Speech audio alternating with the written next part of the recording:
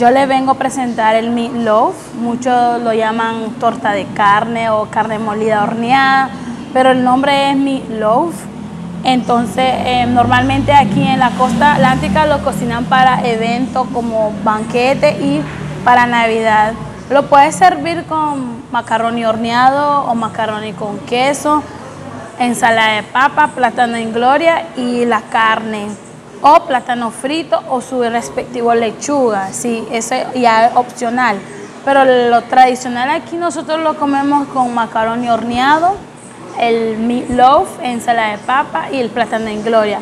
Yo, opcionalmente, yo hago una en salsa roja y yo le echo encima, pero eso ya es opcional, eso ya no es em, si uno lo quiere seco o uno lo quiere la, eh, mojado, pues, como dicen. ¿Cómo se prepara este platillo tradicional? Primero, lo, esencial de, esta, de, este, de este platillo, tenés que ver el tipo de carne molida, porque hay carne molida que tiene mucho, mucho, mucho gordura, mucha gordura. Entonces, si la carne tiene mucha gordura, no le recomiendo hacerlo. Eso es lo primero que tenés que ver cuando vas a hacer el meatloaf. Si tiene mucho, mucho gordura, porque normalmente en la carnicería lo, hacen con la, parte gordo de, la carne de res. Entonces, si la carne no tiene eso, es una buena opción para comprar la carne porque si lo, lo haces con esa gordura, cuando lo pones a hornear se pone pequeño lo va a ver grande cuando lo, se consume mucho porque la grasa se sale.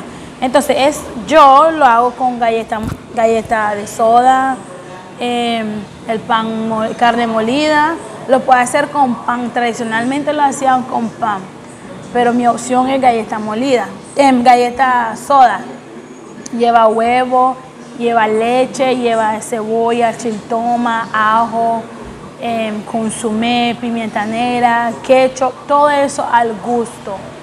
Todo eso, y yo le he hecho queso amarillo también, pero ese ya es em, al gusto. La ensalada de papa, igual, mayonesa, papa, huevo y su mostaza y leche.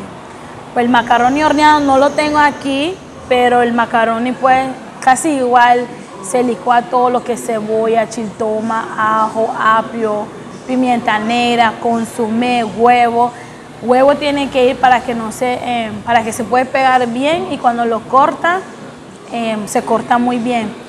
El secreto de esto normalmente se tiene que hacer un día antes o lo puede hacer tempranito en la mañanita, pero se tiene que em, poner frío para cortarlo. Si lo cortas muy caliente, se va a aplastarse, se va a mirar feo en el plato porque no se va a pegarse muy bien.